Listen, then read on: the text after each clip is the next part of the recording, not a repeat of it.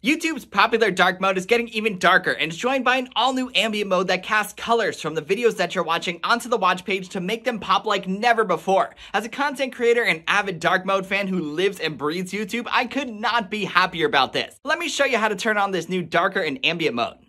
To turn on dark mode, the first thing that you're going to want to do if you're on the YouTube mobile app is select your profile picture. From there, tap on settings, scroll down to general, tap on appearance, and select dark mode or device theme if your device is already in dark mode. If you're on the web, the steps are kind of similar. Select your profile picture, select appearance, and change it to dark mode or device theme if your device is already in dark mode. That's it, nice and easy. To use ambient mode, you'll first need to make sure that you're in dark mode. From there, head on over to the watch page of a video and you'll see that nice splash of color light up the watch page of the video that you're watching. That's it. That's all there is to it. I hope you guys found this video helpful. Thanks for watching.